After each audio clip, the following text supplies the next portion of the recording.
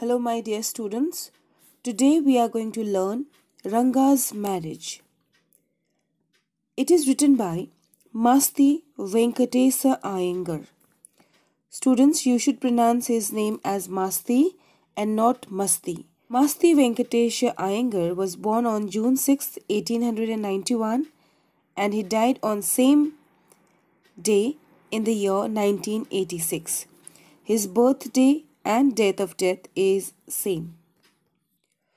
Before we move into the story, we need to understand about the writer in details. Usually we skip it and we remain deprived of great personalities and one is Masti Venkatesha Iyengar.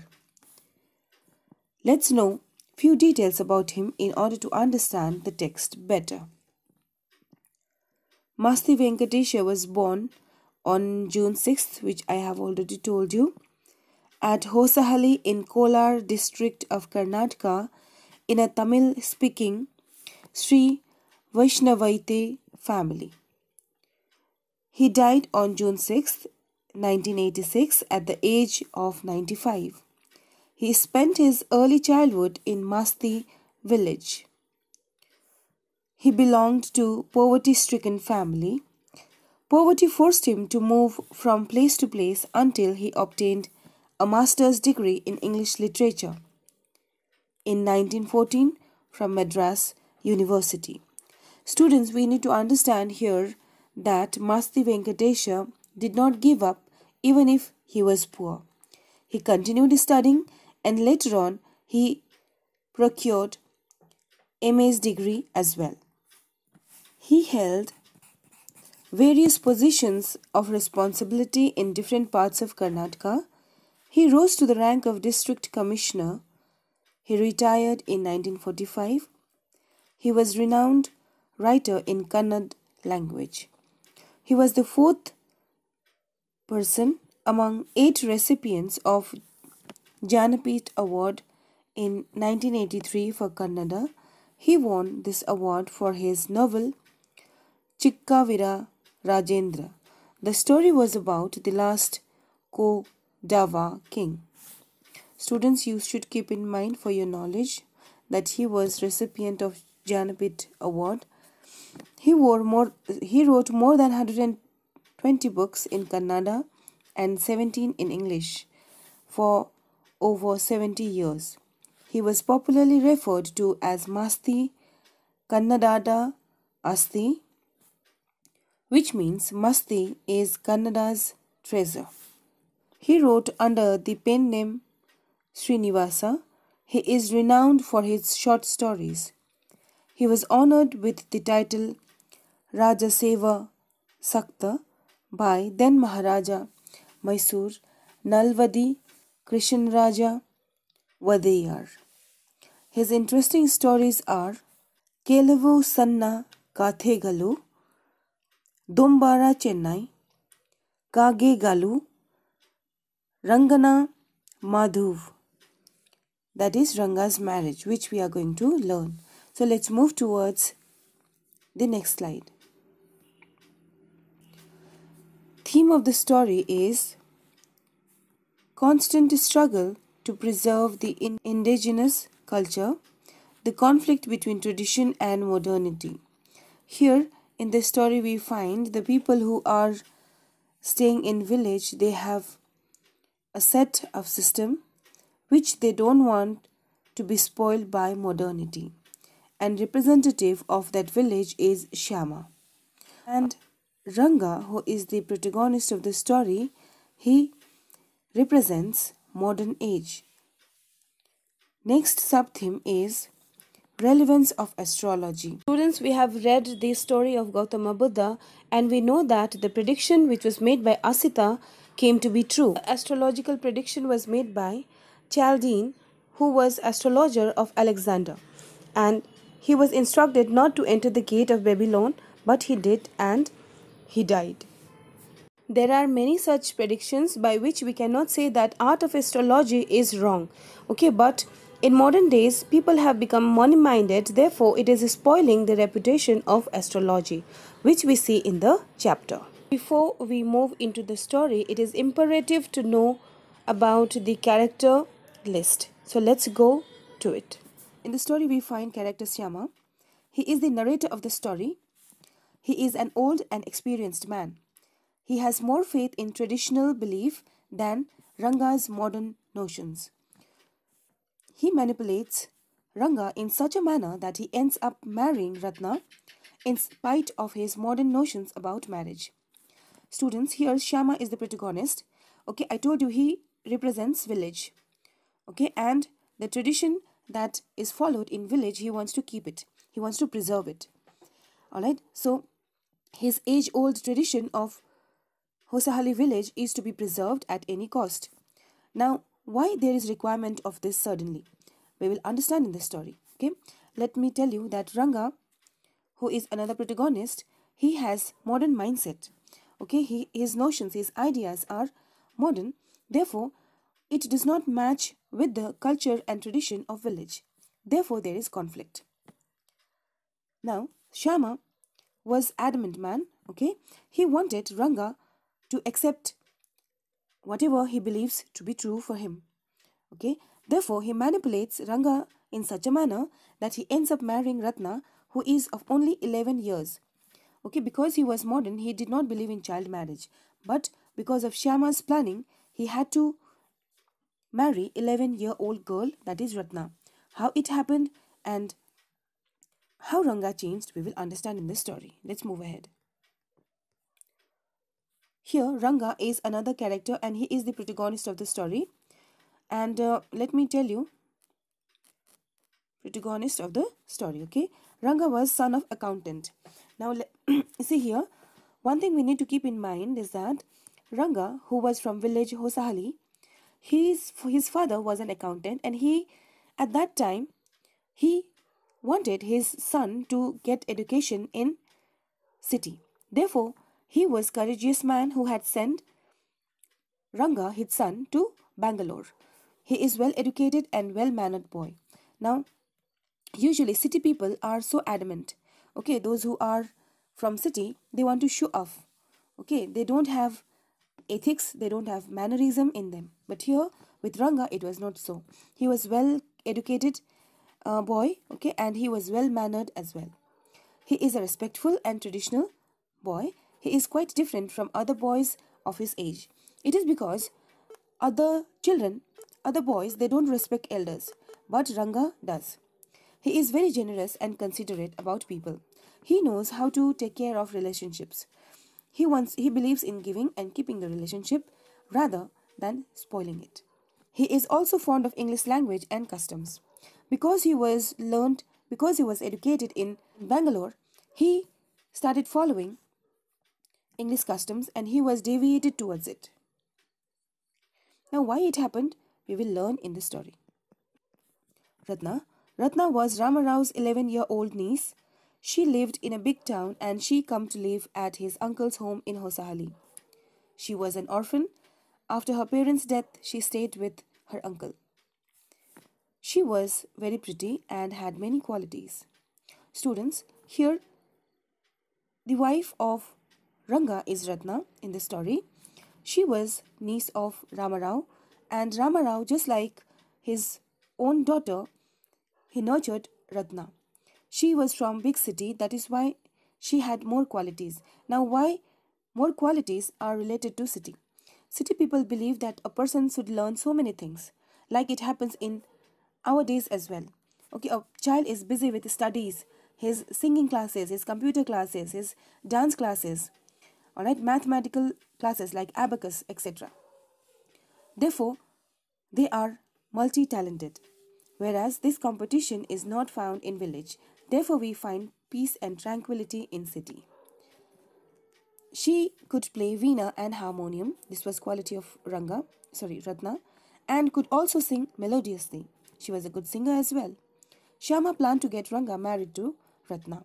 For Shyama, Okay, just like other old people, even Shyama had started planning for the marriage of Ranga, and for him, Ranga's perfect match was Ratna. She was a beautiful girl who had lots of qualities. She was also respectful, just like Ranga. Therefore, in his mind, this was a perfect match. In the end, he succeeded in his plan and Ratna was happily married to Ranga. Now, how it happened, that is the main question. Ranga was totally was not in favor of arranged marriage, but how Shyama made it happen, we will learn in the story. Let's move ahead. Let's begin with the story. The story, Ranga's marriage, is located in Hosahalli and it is a village in former Mysore state. This Mysore is part of Karnataka. Mysore is very famous, okay, and uh, it is very important portion of Karnataka, alright. And the same is with Hosahalli. Hosahalli is very important to Mysore, okay. And uh, the situation which is prevalent right now was not same 10 years ago. 10 years ago, the villagers did not have many people who knew English. Okay, it means that English was not given importance 10 years ago.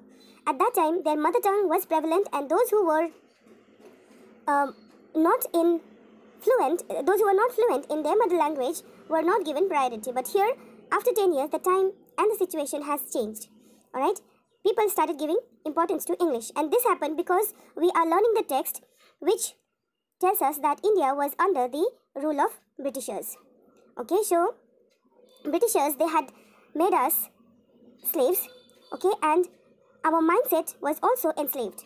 It is because they said that English is more standard than our Indian languages. Alright, and this is still persist in our mind in 21st century as well. We need to take out this thought and uh, we wish that we are going to be successful in this task. Okay, let's move to the story.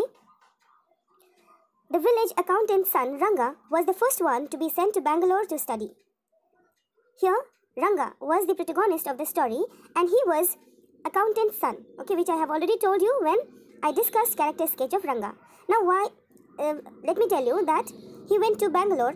Okay, Bangalore is a very uh, developed city, and at that time also it was developed. Alright, so in order to learn English, he was sent to Bangalore, and uh, it was a courageous task because number one, people had fear that their children will change. Alright, and uh, another thing was related to money okay money factor as well so when accountant sent his son ranga to city he was fearful that he will change number one and number two he had to spend lots of money.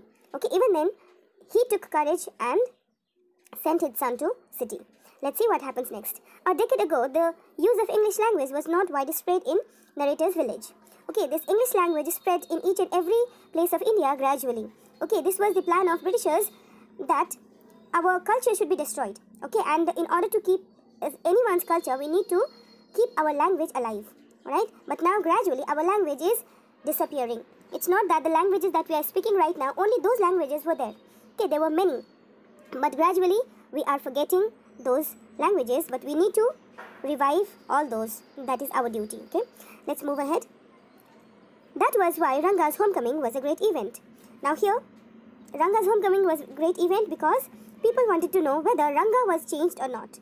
Okay, what changes city life brought in Ranga, people were interested in that. Therefore, so many people rushed to see Ranga and they were just outside his gate, outside his door. People rushed to his doorstep announcing that Ranga, who had gone to Bangalore for his studies, had come back. Now here, you must have seen in movies also that people who goes to foreign countries they change. Their tone changes okay? Their tone becomes so artificial. Not only that their dress up okay? Their dress up also changes. And apart from that they forget their culture as well they forget their culture as well okay they opt western culture so people were interested to see whether even ranga was changed or he was same which he was 6 months ago now here everybody gathered there along with the narrator. Here narrator is Shyama. Alright, even Shyama had come to see Ranga because Ranga was very close to the narrator. That we will understand later on, alright? Seeing so many people there, Ranga came out with a smile on his face. Ranga greeted everyone, for that he came out of his home. Everybody was surprised to see Ranga because he was same as he had six months ago when they had first left the village. When he had first left the village. So there was no change in Ranga. There was no physical change in Ranga. But whether he was mentally changed or not, we will see. Okay. once they realized that Ranga was unchanged physically, okay, physically, the crowd of people slowly disappeared. There was no new thing in Ranga. Alright, he was as he was six months ago. Alright, therefore, people disappeared from that place. Only the narrator, Shyama, continued to stand there. Okay, Shyama was close to Ranga. Therefore, he wanted to interact with him.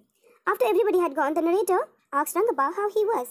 Okay, there was general conversation between Ranga and Shyama. Rangappa is full name of Ranga. Right? Ranga noticed him and greeted him respectfully. Now Ranga touched his feet, okay, touched his feet and took blessings from him. This made Ranga different from others. Other children were very boisterous. Okay, when you read the text line wise, then you will understand that one of the boys said that if there is no monkey performing here, then why narrator was there? Okay, that I will discuss in the classroom. Alright, so here we can see this was main quality of Ranga that he was respectful towards elders. Ranga was a worldly, wise young man. He was wise and he was respectful towards others. He knew when it would be his advantage to talk to someone. He rightly assessed people's worth. See, those who had come to see him, he cannot talk with everyone at that time, isn't it? So he waited. Alright, he saw narrator, but he waited.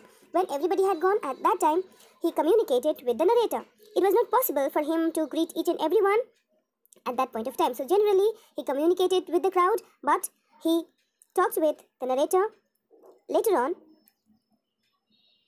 properly regarding his studies and other things. The narrator was resting in afternoon in the afternoon when Ranga came to his house with a couple of oranges in his hand. The narrator regarded him a generous and considerate fellow. Now here, when we go to some new place and when we come back, we get souvenir for our um, relatives and friends, isn't it? But here, Ranga brought oranges. It was kind gesture of him. So he appreciated, the narrator appreciated him and said, considered him as generous and considerate fellow. Okay, this, these qualities we don't find in new generation nowadays. They are so self-centered and they don't want to communicate. They are busy in their own world, but Ranga was not so. He thought that it would be a fine thing to have him marry, settle down and be of service to society. Now, according to the narrator, Ranga should get married, should get married and settle in life. Okay, if, he, if he will be settled, then it, he will set an example for others as well. Because he was having the quality to be a good husband. But let us see whether Ranga was ready for the marriage or not. He asked Rangappa when he planned to get married. Ranga replied that he was not going to get married just then. He needed to find the right girl. She should be mature enough. Secondly, he wanted to marry a girl he admired. Now, here we get to understand that Ranga was mentally changed. Okay, Ranga was mentally changed because child marriage, okay, this is not right, but uh, this was, you know, culture of Hosahali. Child marriage was prevalent in Hosahali village and Rangappa had seen that. Okay, therefore, he did not want to marry a girl who is immature. Okay, who is immature. According to him, she might take his uh, word of loving words in other way. She might not understand Ranga if she is too young. Not only that, he should fall in love with that particular girl, whoever it will be. Okay, with that girl, he should be in love, he should admire her, then only he is going to get married. First criteria is that she should be mature and another criteria is Ranga should love that girl, then only he is going to get married. So, in other words, he is favoring love marriage over arranged one. Okay, he is taking favor of love marriage and not arranged one. Now, here we see love marriage is prevalent in Western culture. Okay, but not in Indian culture at all. Therefore, this change was not acceptable to the narrator. Let's see what he does in order to bring Ranga back to Indianness. Here we get to see that uh, Ranga was not in favor of arranged marriage, I told you, which was pre prevalent in society. And in that sort of society, child marriage was prevalent, which Rangappa did not like. Now, further he said that if he will not find girl of his choice, then he will remain a bachelor. Alright, this troubled the narrator more. The narrator felt distressed at Ranga's decision to remain a bachelor. Ranga left after chatting for some time. Now Ranga showed his desire and then he left. Okay, now the narrator made up his mind that he would get Ranga married. This was challenge to himself. Okay, he had taken vow that this changed Ranga is going to get married to a girl very soon. Alright, and he is going to make plan for that. Let's see what happens now. In his thought, Ramarao's niece Ratna, a pretty girl of 11, would be most suitable bride for him. Now, see, this is what I told you that child labor was prevalent. Ratna was of only 11 years, and according to the narrator, she was red, uh, she was perfect match for Ranga. Okay. Now, this is what elderly people does in village. Alright. In their mind, they keep on thinking about the girl and the boy, and they decide perfect match, and later on they proceed ahead. Alright. Here, what is our problem? The problem is that age. Okay. First of all, age, and nothing else. Ranga was literate. Okay. He was a well-natured person also. Now, Ratna was also a very good girl. Okay, and she was pretty and she was respectful, just like uh, Ranga. But her age was not suitable for marriage. Right. This was the demerit of our society. She had lots of qualities because she was from city. She knew how to play veena, harmonium, and she used to sing also. She was a very good singer. Now, this quality of Rang Ratna was utilized by the narrator.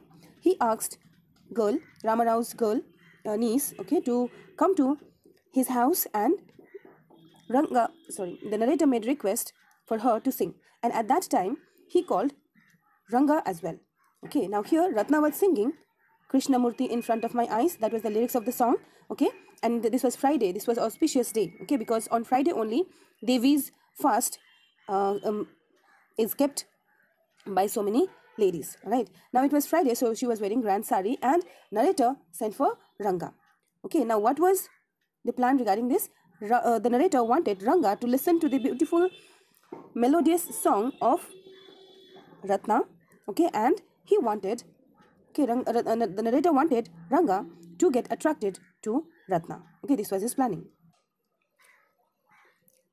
She was singing, okay, Ranga reached the door. He was curious to see who was singing because the voice of Ratna was so melodious that he could he wanted he became eager to see who is singing this beautiful song. The light coming in the room was blocked. Okay, obviously when you peep from the place where the light is entering inside the room, it is going to block the light. So people sitting inside saw there that somebody was there at the door. Ratna stopped singing. She stood at a distance, her head lowered. She was a very shy girl, okay? She was very coy girl. Therefore, she stopped singing and stood at a distance. Ranga repeatedly glanced at her. Ranga, you know, slightly got attracted to her and repeatedly looking at this beautiful girl. He said that his arrival made her stop singing and offered to leave. He said that he will leave, okay, but he did not move. Okay, he did not move. It means that he wanted to be there. Okay, his words and his actions did not match. He said he will go, but he did not go. It shows that he wanted to be there because he had already attracted towards Ratna. But he did not leave. Ratna, overcome by shyness, ran inside. Ratna, okay, little girl, she went inside. The narrator was keen observant. Therefore, he could see that Ranga was already attracted towards Ratna, and therefore, next morning, the narrator went to the astrologer, Sastriji, okay, and told him to keep everything ready to read stars. He tutored the astrologer in all that he wanted to wanted him to say. Now here, astrologer was tutored by the narrator that what he has to say when he will get Ranga to his house. Okay, then he escorted Ra- Ranga to Sastri's house. Now here, what was the requirement of taking Ranga to Sastri's place? I'll tell you that Ranga had become so much attracted to Ratna, but the narrator told that little Ratna is already married. Okay, she married a year ago. Now this disturbed Ranga, and the narrator said, you know, he pretended that as if he does not know anything about Ranga's change of expression. Therefore, the narrator said that what is the problem, Ranga?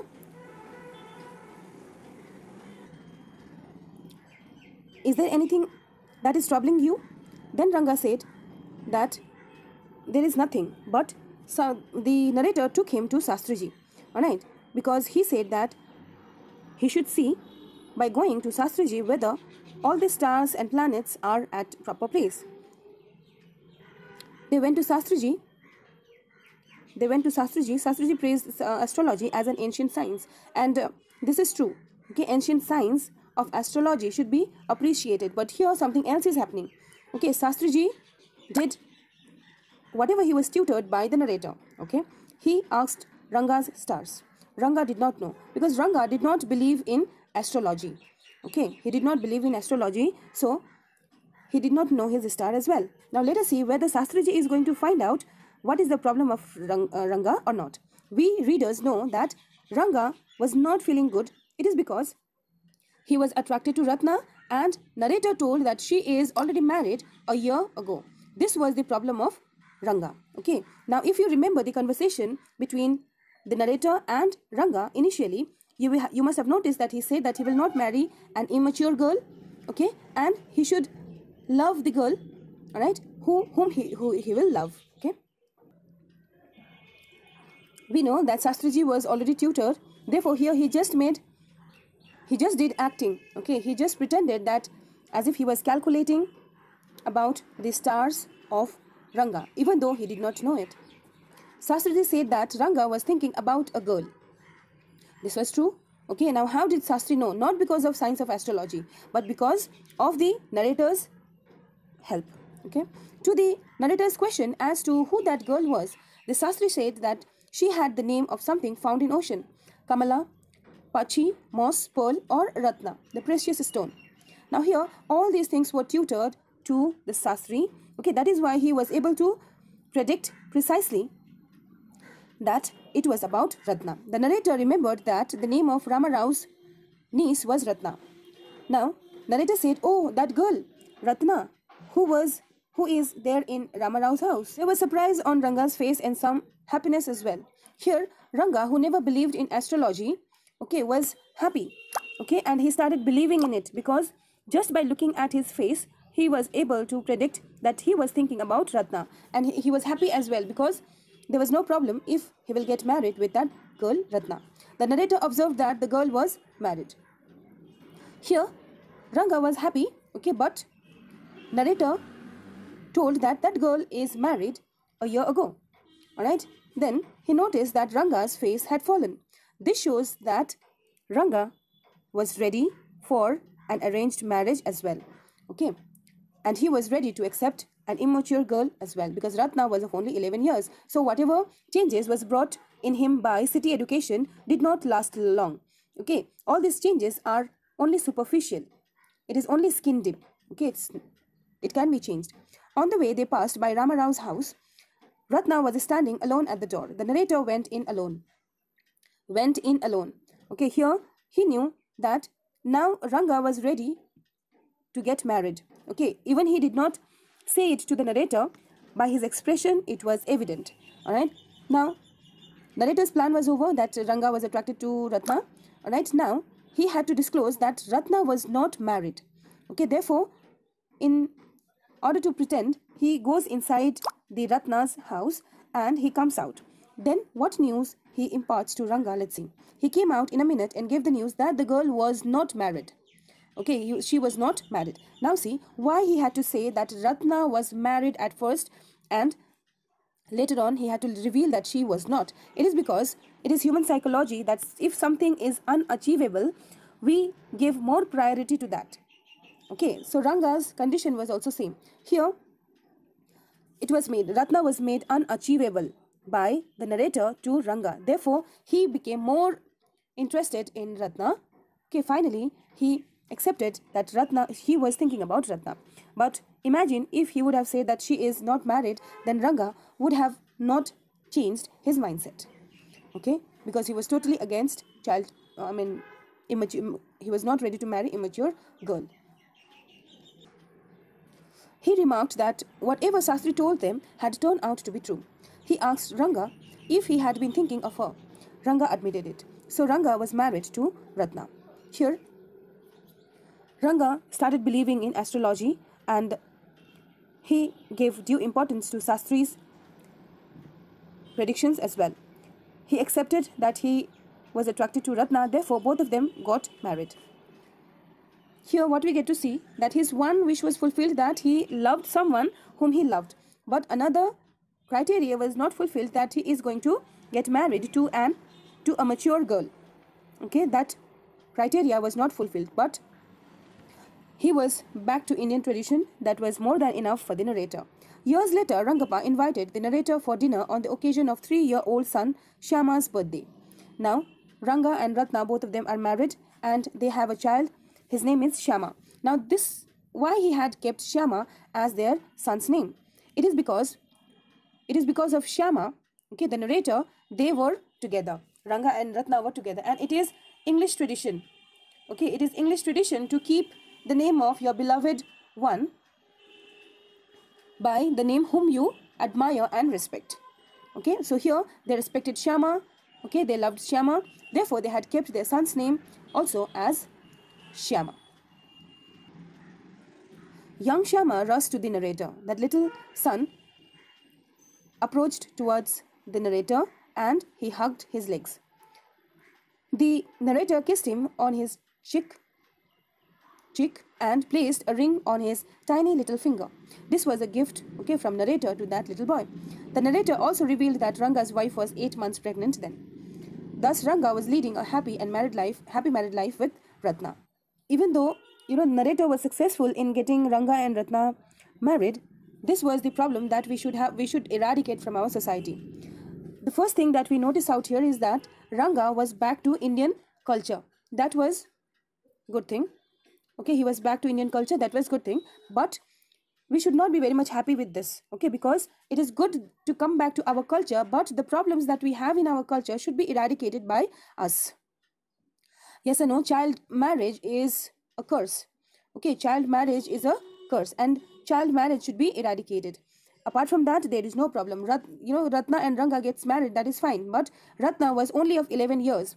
We don't know the age of ranga okay? But here ratna was of only 11 years. And now she has she soon she will be mother of two children okay? Now physically she might not be uh, strong enough for it all right therefore maturity was uh, required. For which ranga was also uh, ready but later on he changed so what we get to see out here is that young generation they go to different cities and places when we, when they come back they change their mindset okay but some are good uh, thoughts okay which they want to implement in their village also but some are not. But still, when they come back to their village, they cannot stick to their thoughts because of so many reasons. So if somebody is coming with good thoughts from city to village, okay, for the betterment of the people resident of village, then it is good. But here, we don't find uh, Ranga's education was of any help. Here, eventually, he was back to Indian culture. He accepted child marriage as well.